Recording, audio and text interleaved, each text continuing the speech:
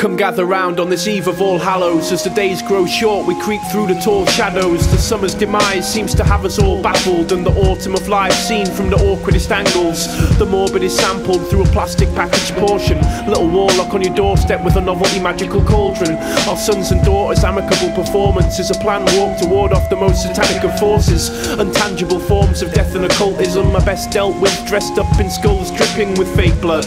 A pantomime of disgust to deal with evil so easily quite satisfies us. Night of the trickster, find mischief for the miscreant and dole out the pranks without receiving the discipline. We were so superstitious when we burned up the innocent, claiming Catholics use magic, we prefer the Church of England.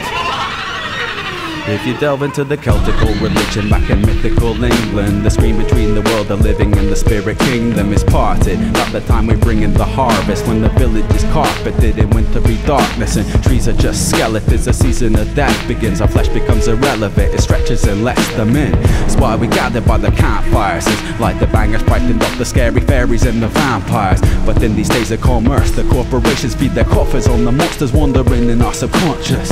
It's Halloween, of course, the adults retreat indoors. What demons kiddies give the heebie jeebies even more? Cause they don't like the tree they see in the sea. Domesticated animals scared of unleashing the beast. But Halloween is an encouragement to lean into the turbulence, to face our demons and then learn from them.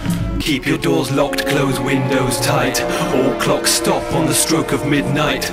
All Hallows Eve when the leaves begin to tumble. Feel the demons grumbling when deep beneath begins to rumble. Keep your doors locked, close windows tight. All of midnight.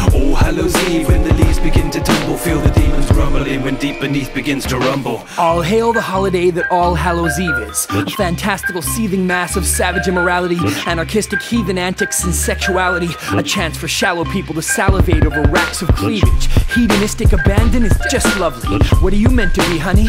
I'm a sexy bunny. I just love Halloween. It's like permission to dress slutty. Permission granted. You make an impression like silly putty with your bouncy little body. Whatever happened to ghosts and ghouls and the parade of lost souls in the spirit world that overruled? Halloween is how medieval heathens broke the rules, but the church is on the ropes. So sex is the only social taboo left. So let the zeitgeist move left. Unshackle your two breasts as much as your costume lets you and do the pagan two step into the next room.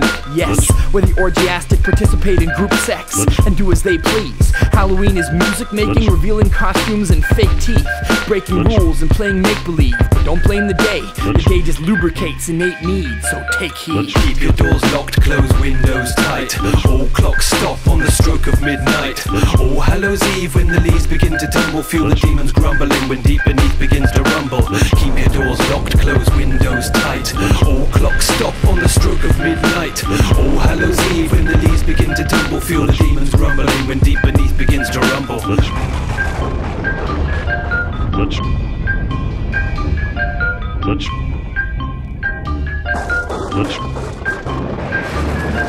let's